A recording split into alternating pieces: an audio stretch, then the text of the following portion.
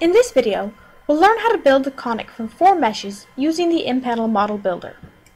Although you can draw the initial fixed point structure for a conic by hand, it's quite tedious, so we'll use the Model Builder, found right here. In order to do this, we'll go to the Model Builder options.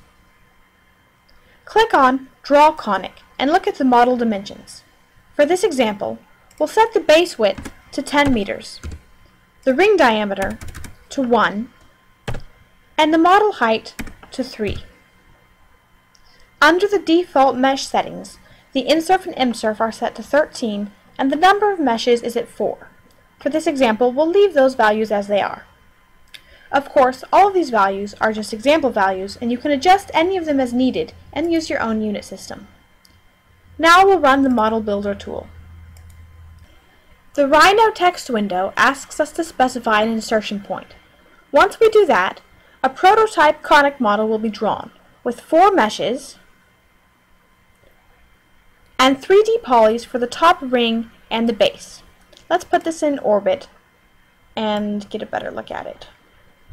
So here we have our conic made of these four meshes and these polylines. We'll form find the correct shape for this model using the Relax Joined Edge Meshes tool. Let's go to the options for that tool. With conics, we generally want to use a variable warp stress, so we'll check that box.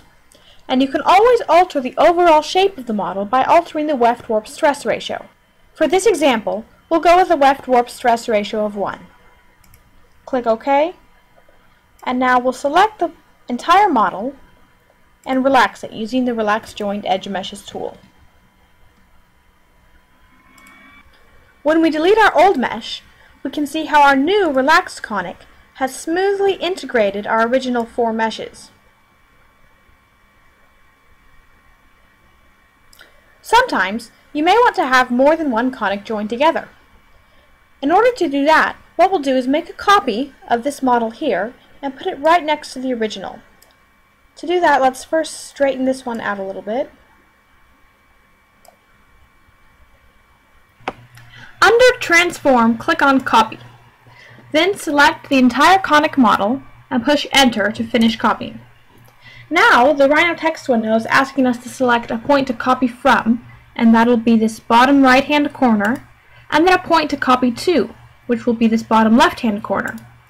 Once we do that, we have two conic models exactly the same, exactly beside each other.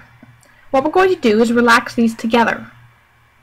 So let's select them both, and then click Relax Joined Edge Meshes. Now when we delete our old mesh, we can see how these two conics have been relaxed together and their inner seams are now joined. Notice the shape of the saddle between the two conics. Another thing you can do is alter the fixed points of this model in order to suit your specific design requirements. For instance, we can move the two right-hand points in order to get a different model width on the right-hand side. To do that, we'll first click on the Points On tool in Rhino, select the entire model, and click Enter in order to turn the mesh nodes on. Now we're going to pull the polyline and the corner nodes of the two adjoining meshes out to a new position. Let's start with the polyline. We'll grab, specify that we're selecting the polyline rather than the mesh. And then we'll grab the corner and pull it out to about here. Now we'll select the corner of one of the adjoining meshes, specify that we're selecting the mesh point, and we'll pull it out to that same position and snap it to the polyline. Now we'll select the other mesh point and also pull it out. Let's go ahead and do the same thing to the bottom right hand corner.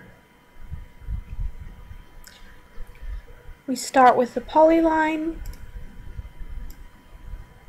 pull it out so that it's right under our top point, then select each individual mesh point snap it to the polyline. And now we have these two new corners.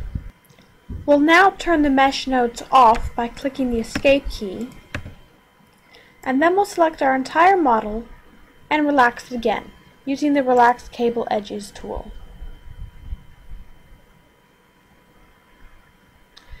After we've done that, let's delete our old mesh and we can see how the entire mesh has been pulled out to these new corners.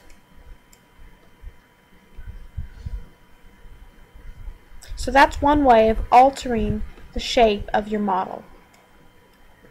Sometimes you may need fixed edges instead of cable edges. We can specify fixed edges during the original model construction on the options page. Let's go into the Model Builder options,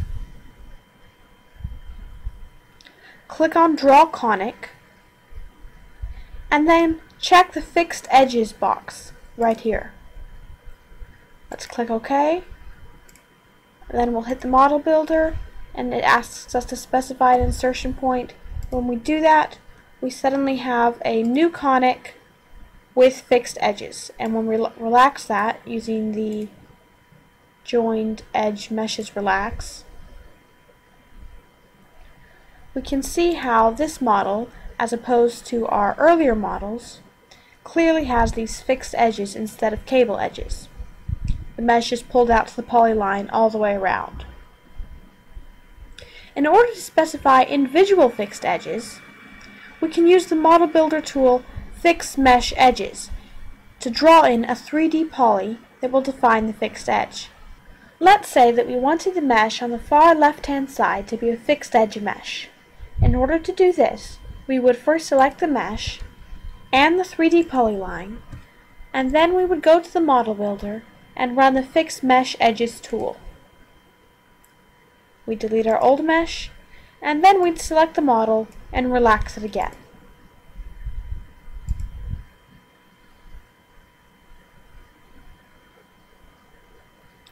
This will pull all of the mesh nodes out to that new polyline, giving us a fixed edge on the left-hand side. We're now finished with our exercise, and we've learned how to build and form find a conic, as well as how to adjust fixed points and add fixed edges.